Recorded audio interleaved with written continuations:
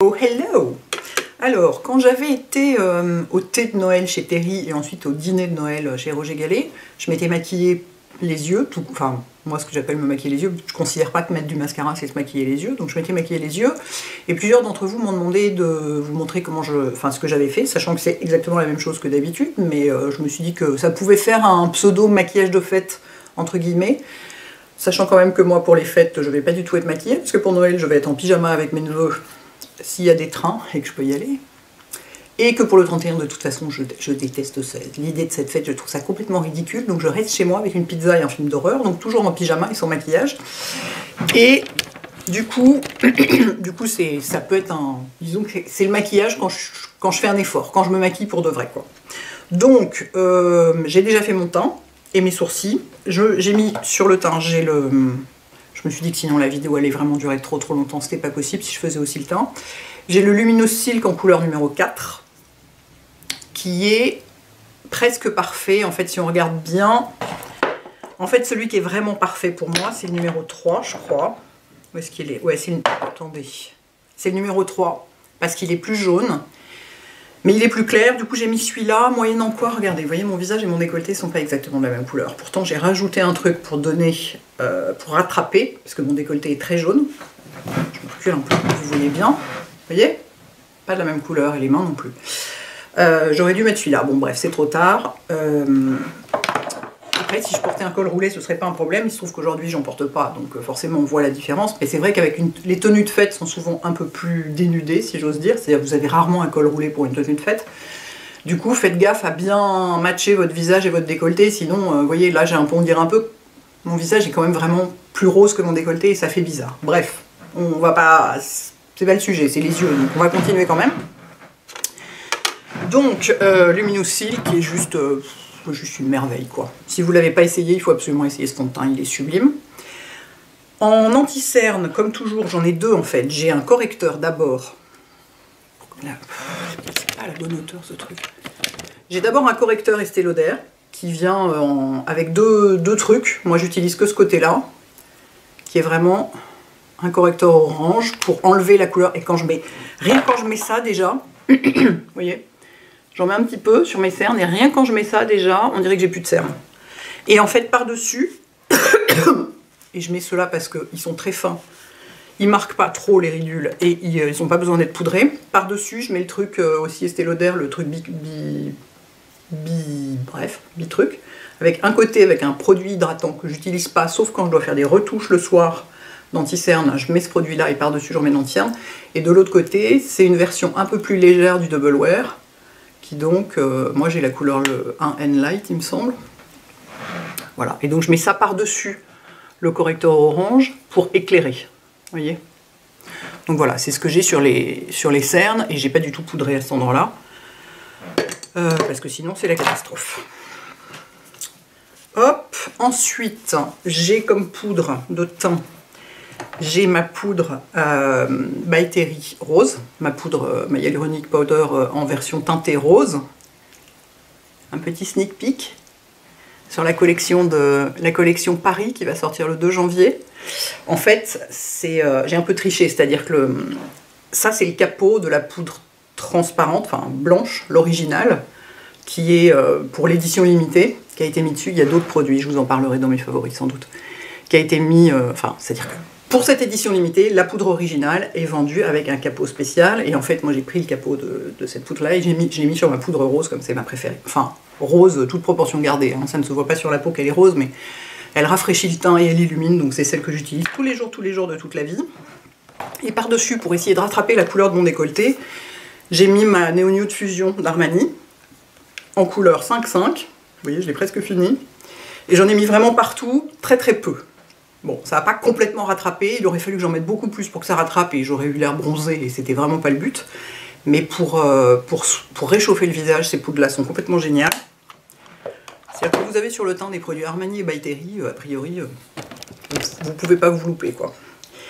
Et enfin, en blush, j'ai mis, moi normalement en blush tous les jours ce que je porte, c'est cette édition limitée Nars, Nars et Erdem de l'année dernière, c'était la collection de Noël je crois. Voilà, je porte ça absolument tous les jours, tout le temps, tout le temps, sauf que c'était une édition limitée. Donc je me suis dit, pour que vous puissiez, si vous vouliez pouvoir reproduire avec les mêmes produits, sachant que c'est pas du tout obligé de le faire avec les mêmes produits, il suffit d'avoir des, produits similaires dans des teintes à peu près similaires. Je me suis dit que j'allais quand même mettre un blush qu'on pouvait trouver dans le commerce, qui est un oldie but goodie que j'adore, qui est le qui est le ah le Hourglass en Dim Infusion qui est tellement joli et qui est un peu plus enfin, encore que sur ma main ça se voit pas beaucoup mais qui est un peu plus coloré que le Nars. Et du coup comme je vais avoir les yeux un peu chargés souvent moi quand j'ai les yeux chargés je suis obligée de rajouter du blush parce que sinon j'ai l'air trop pâle. Donc c'est pas mal d'avoir celui-là et celui-là bah, on, peut le trouver partout donc c'est beaucoup plus facile. Donc c'est le je croyais que c'était le Incandescent Electra. Non c'est le Dim Infusion celui-là. Voilà, et j'ai fait mes sourcils avec mon crayon à sourcils que j'utilise pareil tous les jours de toute la vie, qui est le Micro, Bro, Precise Bro Pencil de Estée Lauder en granit, qui a une petite brosse géniale d'un côté qui marche hyper bien, et un truc, un truc qui se twist de l'autre côté et qui est juste la bonne couleur pour moi. Je vous remontre au cas où, c'est-à-dire c'est un brun froid. Un brun froid et pas trop crémeux, donc la mine ne casse pas. Et une fois qu'il est en place, bah, il bouge plus quoi. Il est assez sec. Et du coup, il est vraiment génial pour ma couleur de sourcil et ma couleur de peau. Voilà tout ce que j'ai fait pour l'instant. Est-ce que c'est tout? Oui, pardon, c'est tout. Donc, les yeux, je vais en faire qu'un. Enfin, je vais, en faire, je vais faire les deux euh, pour sortir dehors dans la journée. Mais là, je vais en faire qu'un parce que je trouve qu'il n'y a rien de plus. Mais caméra n'est pas du tout à la bonne hauteur. Il n'y a rien de plus énervant que les, vidéos où on voit, enfin c'est pas que c'est énervant, où on voit faire les deux yeux. Bah euh, oui, on se doute bien que c'est pareil. Enfin, on espère bien que c'est pareil. Quel intérêt de faire de montrer les deux? Bref. Donc moi je vais en faire qu'un, le droit, parce que c'est plus facile vu que je suis droitière, et puis je ferai le gauche hors caméra et je vous montrerai le résultat final. Donc, est-ce que si je me rapproche beaucoup, vous voyez suffisamment. Parce que là, c'est quand même l'idée, c'est que... Voilà. Un angle très flatteur pour les cernes, mais au moins vous verrez mes yeux. Alors, quand je me maquille comme ça, en fait, je me maquille toujours de la même façon, parce que ça fonctionne bien sur moi, et c'est ce qui me va le mieux, c'est-à-dire que je fais les, les, maquillages où on fait, vous voyez, un coin externe, avec un, comme une espèce de banane, un peu comme ça, c'est super joli, mais moi, ça me, ça me fatigue ça me fatigue le teint et le visage. C'est, comme je dis toujours, on dirait que mon, mon, fard à paupières se reflète dans mes cernes. Et en fait, moi, ce qui me va mieux, c'est d'avoir juste un dégradé du plus foncé au plus clair en partant des cils, mais sans nécessairement faire ce coin externe.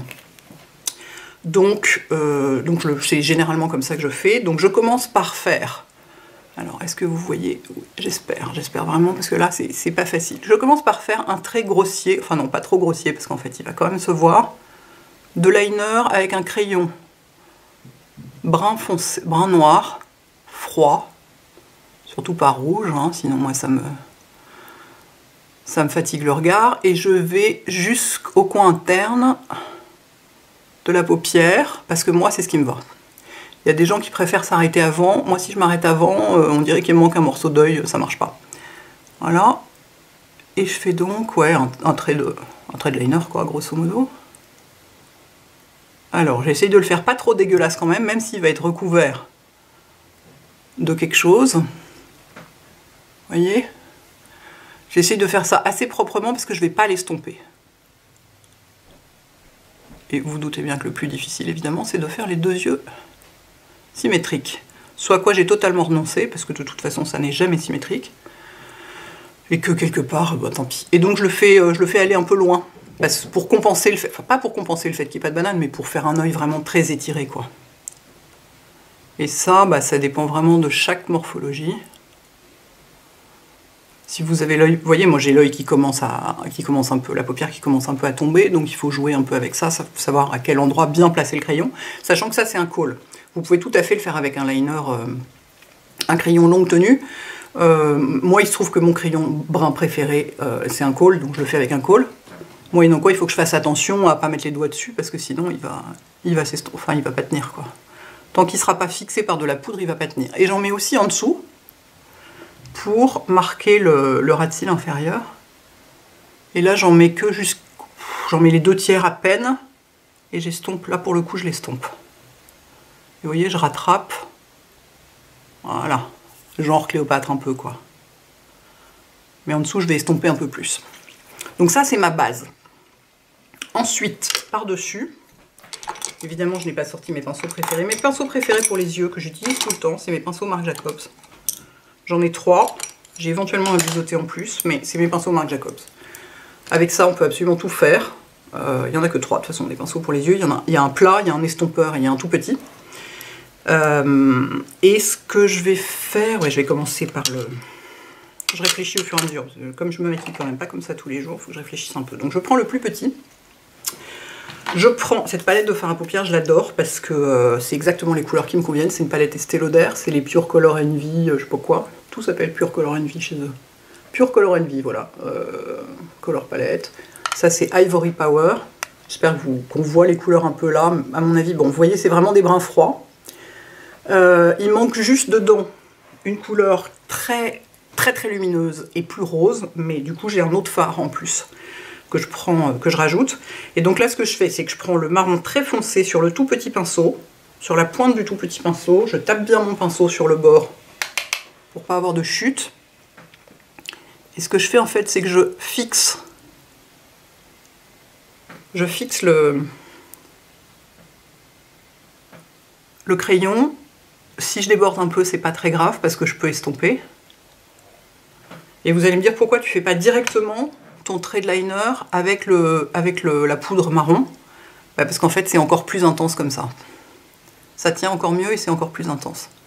Donc vous voyez, vraiment, je le fixe de façon un petit peu grossière. Je vais faire pareil en dessous, mais en en mettant très très peu. Ah, j'ai un cil qui s'apprête à me rentrer dans l'œil, ça va être un vrai bonheur ça. N'est pas tellement d'accord. Voilà. Donc le but c'est d'avoir un, un vachement intense. Ensuite, je prends le pinceau un peu plus. J'essuie mes pinceaux au fur et à mesure dans le gant de toilette qui m'a servi hier soir à me démaquiller. Donc, tout sert, tout se réutilise. Je prends ensuite le pinceau un peu plus, euh, enfin un peu plus gros, c'est toujours un pinceau plat, mais il est un peu plus gros. Et je prends le brin qui est ici. Vous voyez ce brin moyen, je vais vous le swatcher. Vous voyez, c'est un taupe. C'est vraiment un taupe lumineux, super joli. Non, attendez, avant il faut faire les choses bien. Excusez-moi, hein, pour faire les choses bien, avant il faut estomper le bord. En vrai, c'est-à-dire c'est c'est comme un smoky, mais en, version mini, c'est comme un mini smoky à l'ancienne. Et euh, il faut estomper à chaque étape, si on veut que ce soit vraiment propre. Donc j'estompe le bord ici avec mon pinceau estompeur. Et j'estompe aussi en dessous. Voilà. Vous voyez, c'est beaucoup plus joli comme ça. Et donc là, ensuite, je prends mon fard plus clair et je vais en mettre par-dessus. Vous voyez, je, fais la couche d'au-dessus, si on peut dire, l'étape d'au-dessus.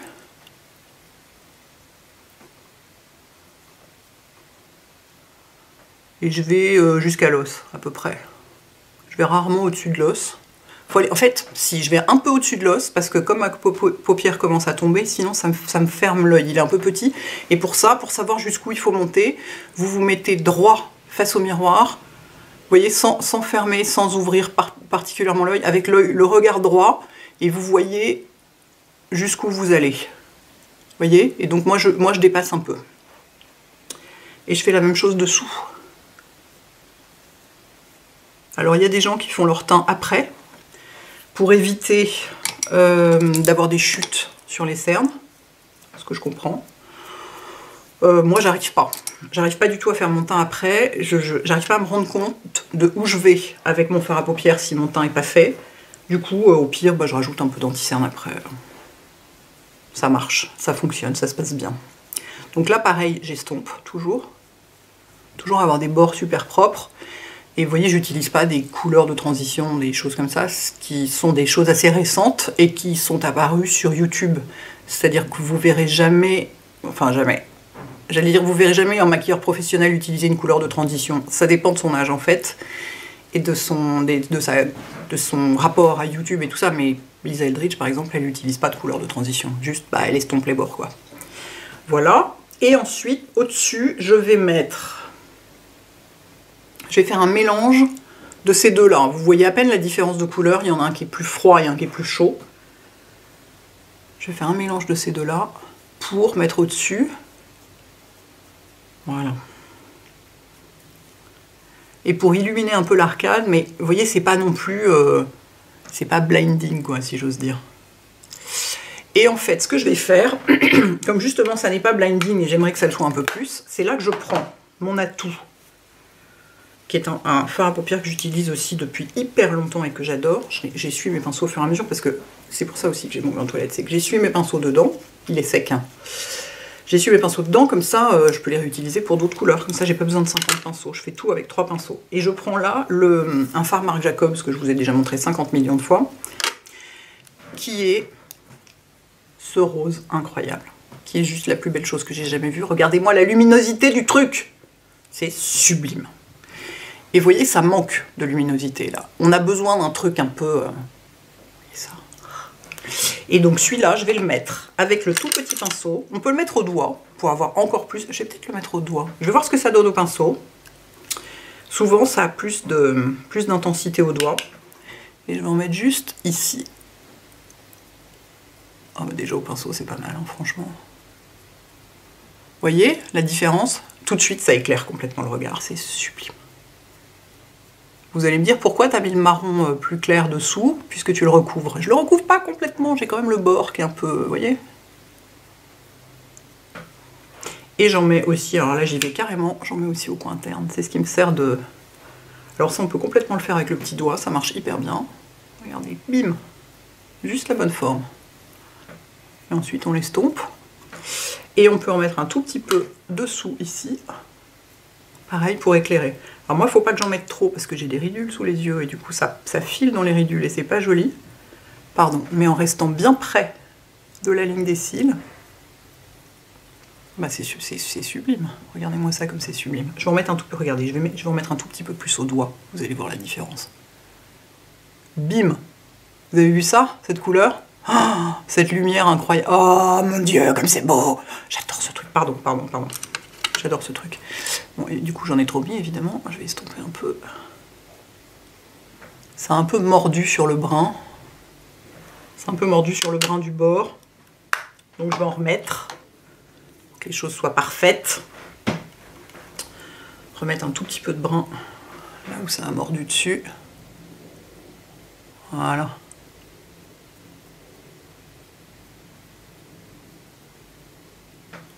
Hop j'ai une, petite, chute ici. Et pour enlever les chutes, surtout, vous vous frottez pas avec votre doigt, vous prenez un pinceau éventail, soit un truc très large comme ça, soit un pinceau tout... Ça c'est un pinceau Make Up Forever que j'ai depuis 1000 ans, qui littéralement décolle, vous voyez, qui décolle les petites chutes, qui est hyper pratique. Je vais sans doute quand même repasser un petit coup d'anti-cerne. Je vais voir ça. Euh, voilà, là c'est bon. Là c'est comme j'aime voyez Est-ce que je zoome in pour que vous voyez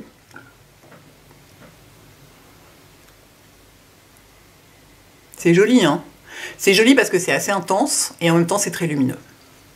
Et du coup, ça me donne pas, euh, ça me donne pas cet air épuisé que j'ai si j'ai un truc plus, ouais, plus, plus avec un coin externe. Alors, ensuite, une étape très importante. Quand il y a autant de sombre au ras des cils, euh, les muqueuses paraissent roses. Elles le sont de fait, mais on voit encore plus qu'elles sont roses et du coup ça fait pas terminer, ça fait, fait pas complètement propre. On dirait que c'est pas fini.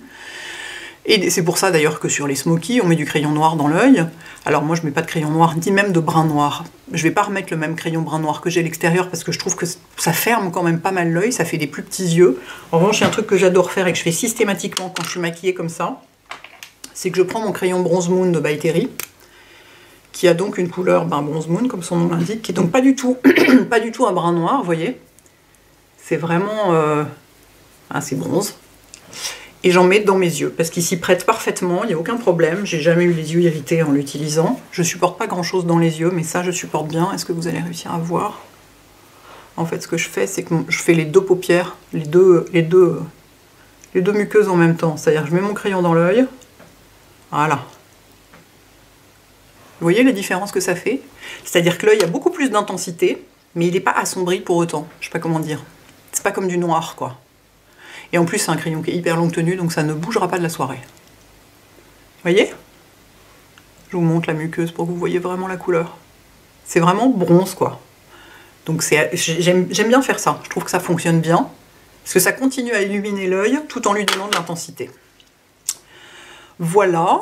Euh, est-ce qu'on mettrait... Est-ce mettrait une touche, une mini, mini micro touche de ce fard-là sur l'arcade? Je vais le mettre avec ce pinceau-là parce qu'il est beaucoup moins dense et du coup il en mettra moins. Je vais en mettre une toute petite pointe. Parce que si j'en mets trop, ce sera pas joli. C'est juste pour illuminer un peu. Voilà, parfait. Sachant que voilà, plus, le pinceau est dense, plus vous, avez de, plus vous avez de quantité de produit et plus ça se voit. Et si vous le mettez au doigt, carrément, là, c'est la densité la plus forte, quoi. Voilà, donc je n'ai pas de mascara, donc forcément ça n'a pas l'air fini parce que ça ne l'est pas. Donc, je vais recourber mes cils en essayant de ne pas aller trop trop près de, de la paupière pour éviter d'enlever d'enlever le liner. D'habitude, je vais hyper hyper près du bord de la paupière, mais là, bah, ça va, le, liner va se transférer sur le, sur le recourbe-cils et c'est pas l'idée. Donc ça, c'est un recourbe-cils Shiseido que j'ai acheté à Tokyo et qui est mon préféré de la terre entière mais chacun a ses préférences. La majorité des gens préfèrent le Moura. Moi, je le trouve trop. Il a une forme trop plate. Mes paupières sont plus bombées que ça. Le MAC est très bien. Le Surat est génial. Donc là, j'ai les cils recourbés. Ça ne fait toujours aucune différence. Et alors, c'est là qu'il faut. Quand on a un, maquillage chargé comme ça, il faut mettre pas mal de mascara qui se voit beaucoup. Parce que là, les cils disparaissent dans le maquillage. Donc, je vais prendre mon mascara clinique préféré, le effet cils lifté, que je garde un peu pour les grandes occasions parce qu'à démaquiller, il est coton coton à démaquiller. Ah, pardon, j'ai pas pu m'empêcher. Et là, bah, je vais en mettre des tonnes. C'est-à-dire, c'est un mascara qui fait euh, des cils de poupée, hein, globalement. Oui, je vais avoir des traces sur les paupières, je sais, je les enlèverai après, vous inquiétez pas. Est-ce que vous voyez? Oui. Euh, il tient la courbure d'une façon complètement dingue, il, donne vachement de volume, enfin il est, sublime ce mascara. Mais alors il tient super bien, c'est pas pourtant c'est pas un waterproof, hein. Mais je peux vous dire qu'à démaquiller, euh, si vous n'avez pas d'huile ou un baume démaquillant hyper hyper gras, c'est compliqué. Hein. Mais il fait des cils. Hein. Sublime. Et donc, bah, ça prend un peu de temps. Mais je m'en mets toujours sur les paupières. Je, je n'arrive absolument pas à faire autrement. Comme, je me recours... En fait, si on se recourbe pas, les, cils, si on a les cils droits, ça met pas de mascara sur les paupières. Mais une fois qu'ils sont bien recourbés, forcément, ça touche un peu, quoi. Hop.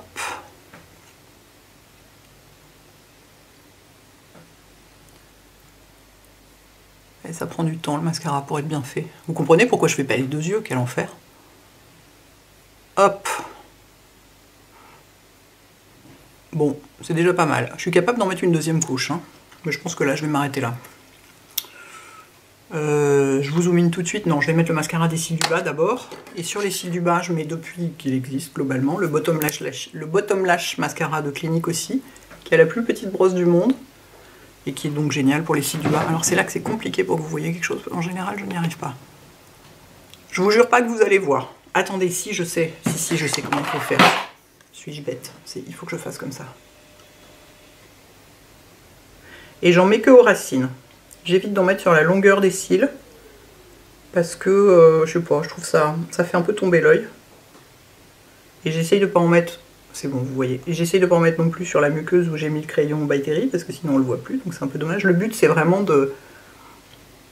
Là, pour le coup, en bas, pour moi, le but, c'est pas de faire des longs cils, c'est de marquer le contour d'œil. Enfin, le... de marquer le, dessin du contour d'œil. On va y arriver. There Alors, où est-ce qu'on en est? Regardez. La différence entre les deux yeux, c'est pas mal. Donc voilà, donc beaucoup de mascara. Euh, on peut tout à fait en mettre une deuxième couche. C'est là que je prends un coton-tige et que j'enlève les petites traces que j'ai faites immanquablement. Si on n'arrive pas à les enlever avec un coton-tige, on peut les enlever avec un, une brosse à sourcils. Ça marche bien aussi, en grattant comme ça. Toc, toc, toc. Parce que des fois, elles sont bien accrochées. Bon, après, moi, je suis pas d'une maniaquerie absolue. S'il y a deux, trois traces, euh, j'en fais pas une maladie. C'est-à-dire, je vais pas faire des photos pour Vogue, vous voyez. Oh, pardon, vous voyez rien du tout, pardon, excusez-moi. Je vais pas faire des photos pour Vogue, donc euh, si j'ai deux, trois petites traces de mascara, c'est pas gravissime. On peut aussi euh, les récupérer en réestompant avec, le, avec du fard. il y a pas mal de petites méthodes pour se débarrasser des traces. Et ben voilà, c'est pas mal. Euh, je vais aller faire le deuxième œil. Et je reviens vous montrer, on va voir si... C'est là qu'on voit s'il faut rajouter. J'ai pas mis de highlighter, je, verrai si je mets du highlighter, la couleur du rouge à lèvres, tout ça, une fois que c'est fait. A tout de suite. Voilà. Mieux avec les deux yeux. Hein. Ça fait des jolis yeux. Hein. J'adore, moi. J'adore parce que ça étire vachement les yeux et en même temps c'est lumineux j'aime beaucoup, beaucoup ce genre de maquillage. Mais vous comprenez que je le fais pas tous les jours. D'abord, alors moi déjà j'ai tout le temps les yeux qui me grattent, donc euh, c'est pas possible avec ça. Euh, ensuite, ça prend quand même des plombes à faire et ça prend aussi des plombes à démaquiller, donc euh, non, pas tous les jours. Mais de temps en temps, c'est vraiment sympa. Alors, de quoi j'ai besoin au niveau teint? J'ai pas besoin de plus de blush. En revanche, j'ai besoin d'un highlighter qui donne de la fraîcheur donc je vais prendre celui de Terry. Vous savez, c'était mon préféré de l'hiver dernier, et là je l'ai ressorti vu que c'est l'hiver. Mon highlighter rose. Voyez? Je vais mettre ça avec un pinceau assez dense pour en avoir pas mal. Prendre un pinceau, ça c'est un pinceau Fenty je crois. Il me semble que c'est un pinceau Fenty, je sais plus. Et... Ouais. C'est pas mal du tout. Pour rééclairer, parce qu'en fait, mon fond de teint a commencé à... C'est pas qu'il s'est oxydé, mais il a commencé à vivre un peu sur la peau. Et du coup, je suis enfin en train de rattraper la même couleur que mon décolleté, mais du coup, ça a un air un peu moins frais. Du coup, il faut que je rajoute de la fraîcheur avec ça. Et comme ça, maquillage du soir, je peux y aller joyeusement. on est mardi, il est 11h du matin, hein, mais ça va pas m'empêcher de sortir acheter du pain et aller chez Picard euh, acheter de la soupe euh, comme ça. Enfin, surtout que c'est un maquillage très normal pour la plupart des gens tous les jours. Donc, voilà, de ce côté-là, on voit jamais, c'est normal, c'est la lumière, mais là, vous voyez, c'est pas mal comme couleur de highlighter, et je vais en mettre un petit peu, moi j'adore en mettre ici, parce que c'est une zone qui est assez sombre. Hop, et du coup, ça éclaire joliment, sans être non plus blinding, vous voyez? C'est toute la zone du regard, en fait, qu'on illumine. Euh, je vais pour mettre au-dessus de la lèvre supérieure parce que ça c'est pas mon truc. Non, c'est bien comme ça. Et alors, comme rouge à lèvres, voilà, faut que j'essaye pour voir. Ma tentation serait de mettre mon rouge à lèvres préféré du moment qui est celui de Bobbi Brown qui est un, qui est un pêche clair. Est-ce que ça va aller avec? Ou est-ce que je mets du rose? Non, j'ai horreur du rose, j'ai pas du tout envie de mettre du rose. J'ai très envie de mettre ça. Voyons, si ça ne va pas, on changera. Que moi, il m'éclaire quand même vachement le visage, ce rouge à lèvres.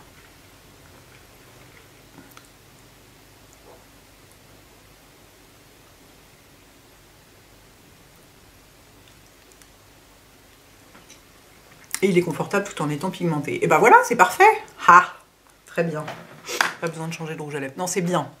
Parce que si j'avais un truc plus rose, ce serait plus classique avec les yeux. Ça aurait un côté plus classique. Si j'avais un truc plus foncé, évidemment, ça ferait beaucoup trop. Enfin, pour moi, pour mon avis, avec les yeux aussi chargés, il faut un nude. Et là, comme c'est une couleur qui éclaire vachement le visage, du coup, ça compense le côté sombre des yeux. Ah, je suis enchantée, c'est parfait. Et ben voilà, c'est fini. Mon maquillage de fête qui va me servir à aller chez Picard.